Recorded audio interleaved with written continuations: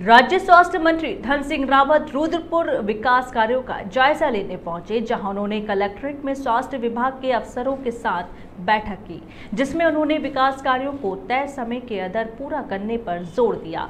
वहीं medical stores के सत्यापन के साथ दो साल में मेडिकल कॉलेज का काम पूरा करने के निर्देश दिए। वहीं मीडिया से बात करते हुए उन्होंने कहा कि 20 दिन में एएनएम और 50 दिन में नर्सों की नियुक्ति की जाएगी। और आज हमने सबसे बड़ा निर्णय लिया है कि डिस्ट्रिक्ट हॉस्पिटल में हमारे सीएससी में पीएससी में जहाँ भी वार्ड वाई की दिक्कत है टेक्नीशियन की दिक्कत है उनको जो है पूरा किया जाए।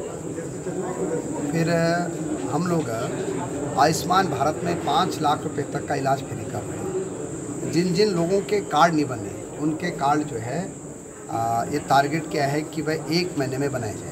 निःशुल्क बने और एक बड़ा निर्णय हम कर रहे हैं कि हर आदमी का एक हेल्थ आईडी बनाई जाए। और वो हेल्थ आईडी जो है उसके पूरे जन्म भर उसके काम है ये भी जो है पूरा डिजिटल बनाई जाए बाकी स्वास्थ्य सेवाओं में हम इतना बेहतर कर रहे हैं कि कोई भी मरीज़ जो है हमारा रेफर